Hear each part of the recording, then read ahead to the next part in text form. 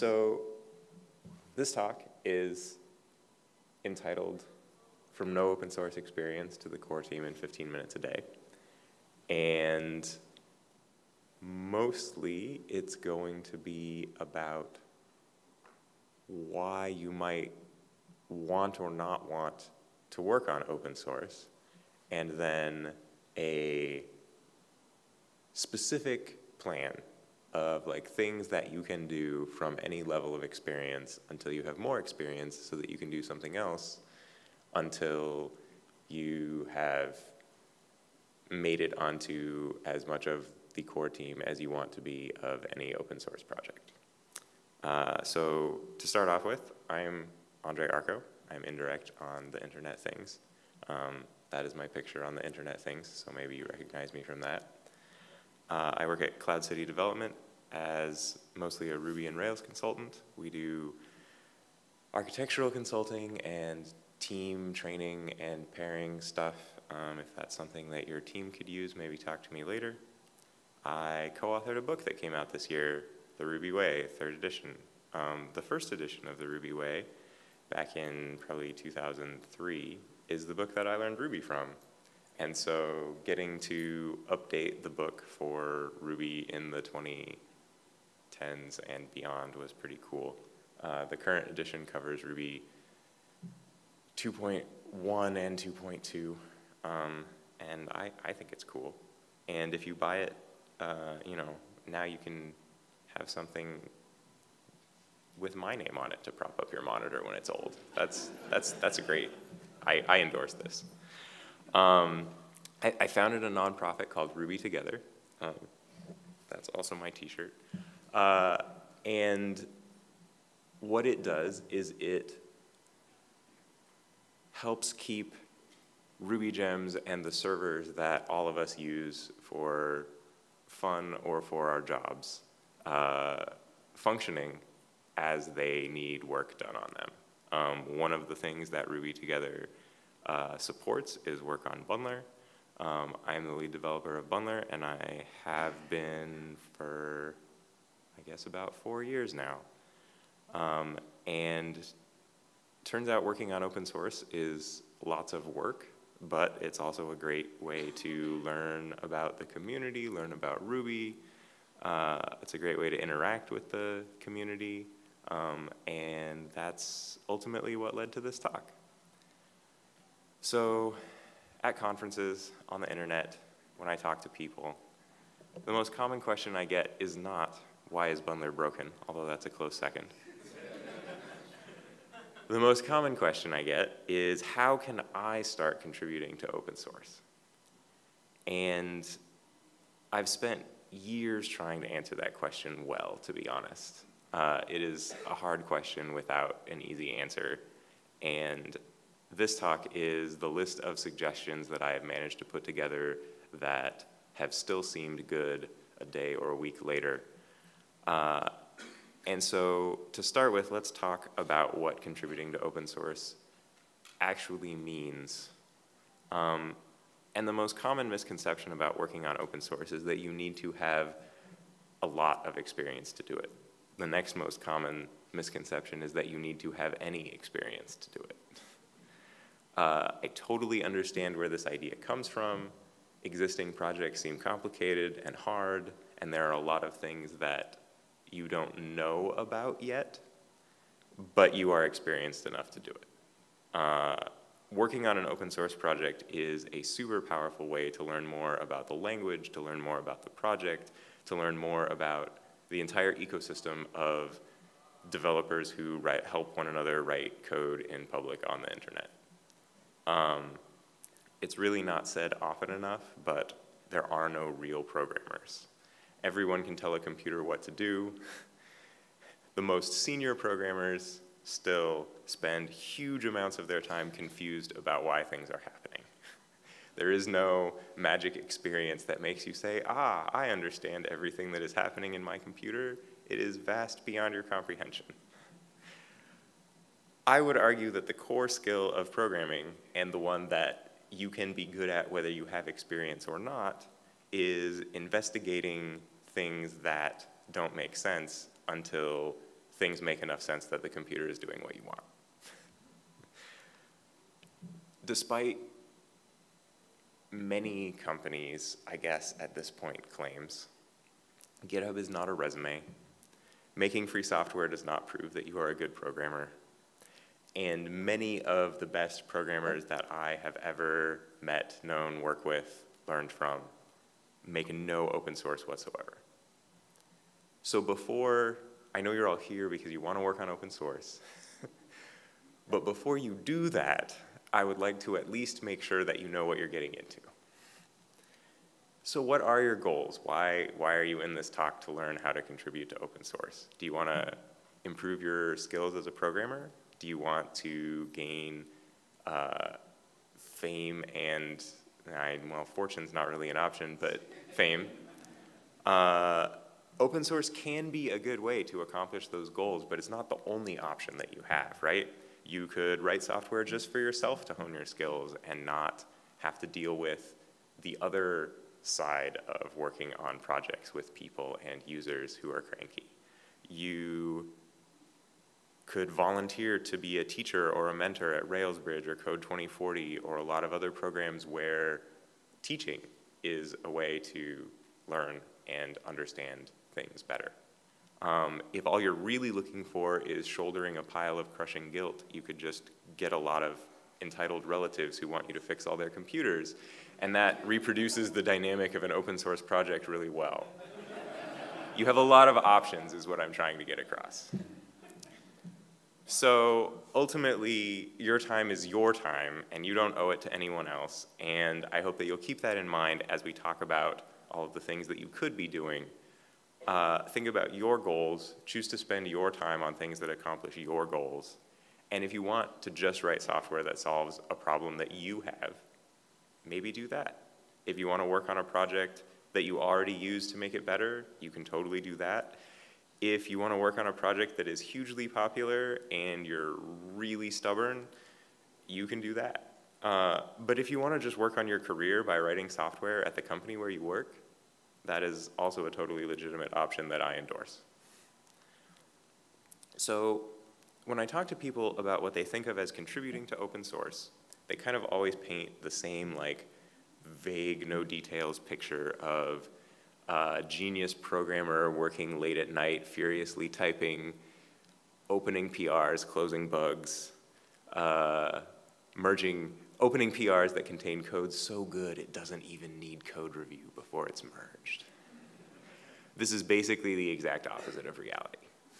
Uh, contributing to open source is actually more about understanding other people's problems and trying to help them with those problems than about writing code. Uh, sometimes that understanding people's problems and fixing those problems does mean writing code, but sometimes that just means writing a paragraph that explains to them what they're confused about. Sometimes that means adding that paragraph to the documentation. Sometimes that means fixing an error message or working on a website or designing something better uh, you can contribute to open source without being ready to code. You can contribute to open source without even having coding as one of your core skills, right? Writing code is a tiny fraction of the work needed to solve people's problems at scale, which is theoretically what open source is about. Um, so benefits. There are actually some benefits, which is cool. Uh, you can practice building projects yourself from scratch, which is maybe some an opportunity that you don't get at a paid job. You can practice working with a team of developers, allocating tasks, estimating work, blowing through deadlines, disagreeing about how things should work. Uh, this is all very like modern software development process uh, that maybe you don't get the chance to get experience with in your day job. Uh, I have worked both at jobs where I had no, no chance to work on small projects where I had control, and I have worked at jobs where I had no chance to work on projects where I had to actually collaborate with people. Open source contains the opportunity for you to do both of those things, and being good at both of those things is part of being good at writing software. Uh, ultimately, working on open source provides a lot of the benefits of an unpaid internship, but you don't have to get someone's permission to be an unpaid intern. if that sounds appealing to you, keep listening. Uh, so the upside to not needing someone's permission to not get paid is that you don't need someone's permission to not get paid, and you don't need anyone's approval to do whatever it is that you're interested in doing. And sometimes that is super valuable and super powerful. And open source, you can work on, you can work in your own time when you have time. You can work at your own pace. There's no one with a deadline who will like follow up with you looking for those TPS reports. you can work on anything that seems interesting to you until it doesn't seem interesting to you anymore.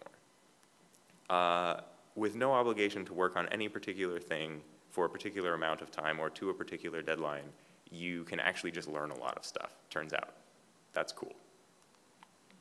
So now that you know about those benefits, there's kind of the, the ultimate caveat that I'm, I'm aiming to get across is only work for free if you can and if you want to. Uh, and that is actually probably the most important point of this entire talk, so I'm just going to say it again. Only work for free if you can and if you want to. So, can you work for free? Let's look at that. Open source work is basically never paid. Open source developers do a lot of work that companies use to make money. Open source designers do a lot of work that companies use to make money those developers and designers in particular will probably never see any of that money in a cut or in a payment or in any way. Uh, companies taking advantage of the work done by individual people to have bigger profit margins is a thing. Uh, I super strongly encourage you to read Ashe Dryden's The Ethics of Unpaid Labor and the Open Source Community for a detailed discussion of that particular problem. So I want to take this moment to call out that while creating open source tools and expanding your reputation is cool, working on a side project that earns you money so you can pay bills and so you can buy food is also cool. Paying bills, buying food, these are important life goals. These are probably life goals you want to put above being an awesome open source person. Uh, even really well-known open source developers get caught up in demands from people because their users are people who have problems and forget to take care of themselves while they're trying to help other people with their problems.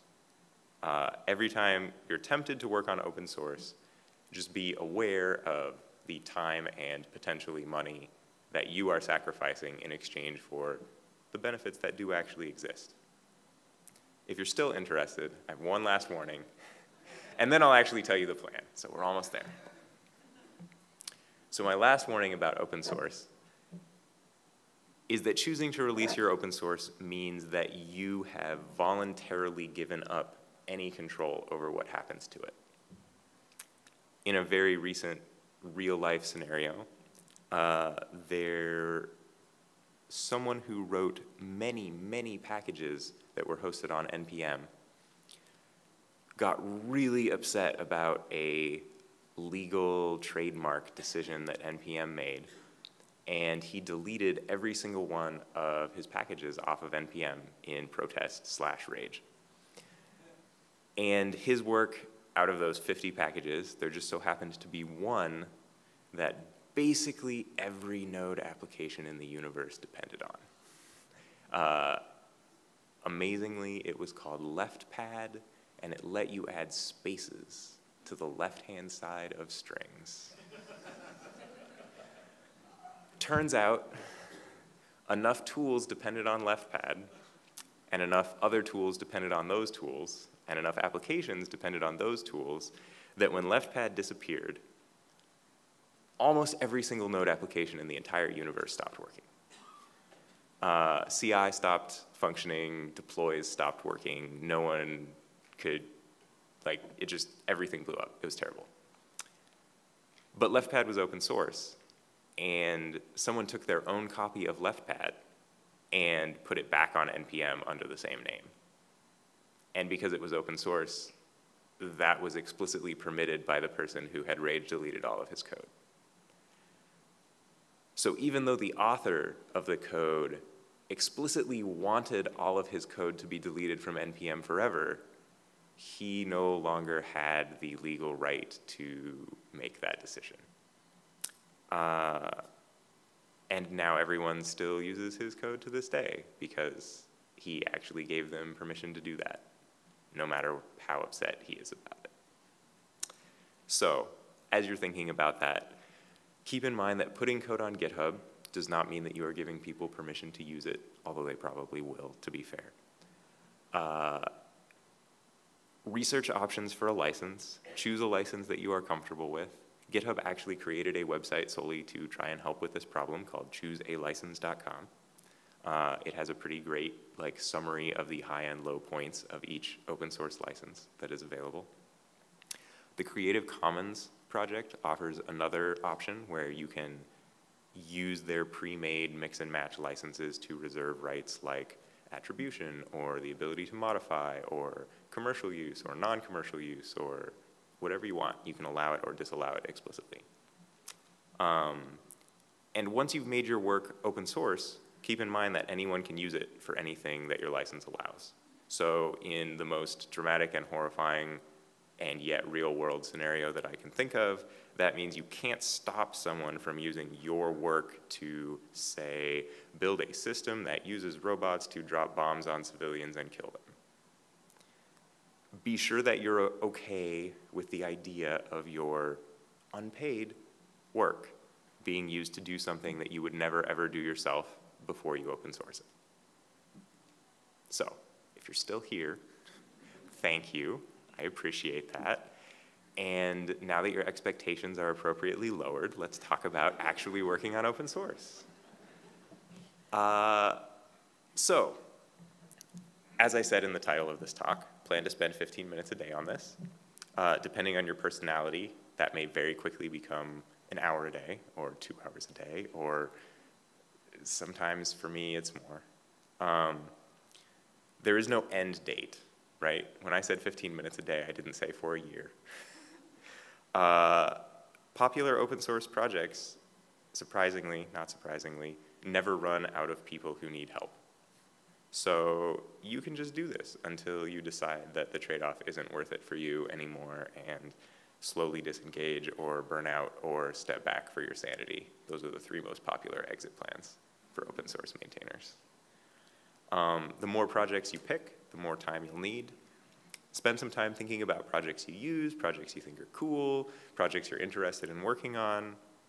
Pick one, maybe two. I would definitely recommend you that you pick no more than three projects. And then get ready to actually dig in. So, step one, what is happening? Read the README, read the manual, read every single page on the entire website for this thing, read the developer documentation, read the contributing guide, read the change log. Are we warmed up? Okay, now the fun stuff. Open the GitHub project, open the issue tracker, read every single issue. Maybe not the closed issues, depends on how big the project is, but read all of them. Read every comment, read every problem, read every person who doesn't understand what is happening and is like, I don't know why I just saw this backtrace follow the repo so you get notified about every new issue and every new comment and read those too. Uh, to be clear, only do this for 15 minutes a day, right? There's no time pressure on this. You can take as long as you need to accomplish all of these things, but this is how you get oriented on a project and know what's going on. So for big projects like Rails, at 15 minutes a day, it might actually take you weeks to read every single issue, right? Last time I checked, there was about 2,000 open issues on the Rails repo. But that's okay. You're in this for the long haul. Uh, someone I know, Steve Klabnik, did this with Rails. This was his plan explicitly. And it did take him weeks. But after he finished, he followed through on a few more steps of this plan and eventually wound up on the Rails committer team so this is totally a doable plan, trust me. So now that you've read all of the issues and all of the comments and all of the documentation, it won't actually take very long before you start to notice new issues that contain questions that you already know the answers to. You're like, oh, the documentation answers that question over here, or, oh, I've seen other people answer this question in five tickets, so I'm sure that the answer to the sixth ticket is still the same. Uh, answer the questions that you know how to answer, and now you're contributing to open source. Good job. Uh, answering the questions is just the beginning. Once you can start answering questions, you can start helping with tickets more than just answering questions. Um, a lot of tickets are repeats of old tickets that by now you've already read. Uh, once you're familiar with the scenarios, you can not only answer those questions because they repeat, you can try to figure out where in the docs to answer that question so that the tickets stop repeating, which is cool. Work yourself out of work. Open source in a nutshell. Start improving the documentation based on all of the things that you just learned by reading every single issue. Uh, add warnings for common problems, improve things that are confusing or wrong. Start thinking about how to improve error messages. Turns out that is actually the highest leverage way to reduce ongoing maintenance and support work is just improving the error messages, not making the error messages go away. Keep reading new issues for your 15 minutes every day. And at this point, you probably are getting a feeling for how the project works. You've seen pull requests probably happen and code review happen and changes get merged. And this is an ideal time to go back and reread all of the documentation and make it better. You are still new enough that you understand the problems that people who are new to the project will have, but you now have enough understanding and context to fix a lot of those problems. And that combination is very uncommon. Uh, as, as someone who's worked on Bundler for years, I can no longer even reason about what things people don't know. And it's very hard to find people who still remember what it is like to not know things to help us with the documentation. This is also a super great point to start helping with issue reports. When someone reports a bug, when they can't provide steps to reproduce the bug or they're not really sure what the bug is, you can be the person who figures that out. You can find the reproduction steps, you can put those reproduction steps on the ticket. As a project maintainer, I will leave you little party emoji for every time that you send me a reproduction case, right? And I will be completely serious about it because I'm very excited. Uh, I, I don't even know how to state the value and importance of people who are willing to investigate bugs and either reproduce them or tell the person, I did the same things you said and I got this different result. That is what makes it possible to write a test. Having a test is what makes it possible to fix the problem. That is what I am aiming for. Oftentimes I do not have the capacity to do all of those things, and so contributors doing some of those things is just amazing. The next level of helping after a reproduction case is not that surprisingly, now that you know exactly how to make it not work, figuring out how to make it work. if you have a test case, honestly, you could just write the test case and then open the PR, and I would be super, super excited. Uh, I can't, like, a PR with a failing test is like, makes my day. It's like the best present, right? And you didn't actually have to understand anything about the contents of the code, right? All you had to do was figure out how to make the problem happen again automatically. Once you have figured out how to make the problem happen automatically, though, it's not actually that big of a step to then be like, hmm, if I change this, does it go away? Hmm, if I change this, does it go away? I mean, and that's, that's what I'm going to do. So, like, all of us could try it, right? There's no pressure on this. There's no time frame where you should feel comfortable doing this. But chances are high that as you continue to do this more and more over time, you will reach the point where you're like, oh, that was clearly nil and we called a method on it anyway. Maybe I could just like check to see if it's nil and not call that method. Uh, you can. It's cool. You can just open the code. It's open source. It's amazing. Uh, writing code that fixes bugs and adds features does require understanding, right? And this is the hard part about contributing to open source, understanding the code, understanding the users of the code, understanding the project and the goals of the project. Those are actually the hard things about working on open source. And unfortunately, it's hard even if you, you're the person who wrote the code to understand the code, right? Like, I look at things that are broken in Bundler, and I am like, I wrote every line in this file four years ago, and I do not remember any of them. and I don't understand what the problem is, so I guess I'm just going to treat this like code that someone else wrote. Uh, and once you're able to do that, you can do anything, right? Start using it. Be like, oh, that's awkward. That's a confusing option that informational message could be clearer. I just made it do a weird error. I should do something about that, right?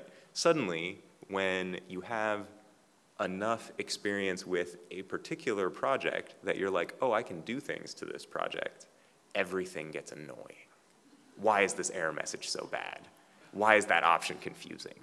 This should obviously, I think to myself, work easily and clearly, and it doesn't, and that makes me very upset, right? As soon as you start feeling ownership, you're like, oh, this is terrible. And now you can make it better, which is super cool.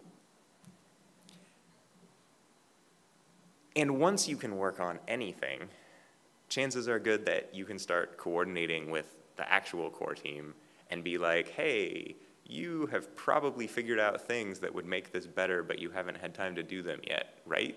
And the answer will be yes, yes, we have a long list of things that we know will make it better that we don't have time to do yet. You could be someone who has time to do that. And that's pretty cool. Like, talk to the people who already work on the project. Like, come to consensus about priorities and or just say, well, I'm willing to work on that, so that is now the highest priority thing because I have time. Uh, guess what? You're an open source contributor. It just snuck up on you, and now, now that's you. Uh, keep it up. Keep doing this. Spend a few weeks, months, probably months, probably not years. If you stick with it, you're basically guaranteed to end up on any core team because you're actually making the project function. That's what core teams are. They're the people who are actually still there making the project work, and there are basically no other qualifications. And if you keep this up for a few years, someone will probably tell you that they quit and now you're in charge. uh, speaking from personal experience, this is a very real thing. Congratulations, also my condolences. so, what did we learn? Open source can be rewarding. Open source has a lot of benefits. Open source can be worthwhile. It's not necessarily for everyone consider what you're giving up, keep the trade-offs in mind, and do the thing that has the trade-offs that you're happy with. It is possible to figure out what is happening and why it is happening and fix it. Because computers, unlike people, are ultimately understandable. And finally, understanding and helping the humans who are maybe not ultimately understandable is actually the core skill of open source work. And maybe all software development, but I'm not sure I want to defend that right now. So building tools that improve the lives of users can be just phenomenally, immensely satisfying. And that's what keeps me doing it. Thanks.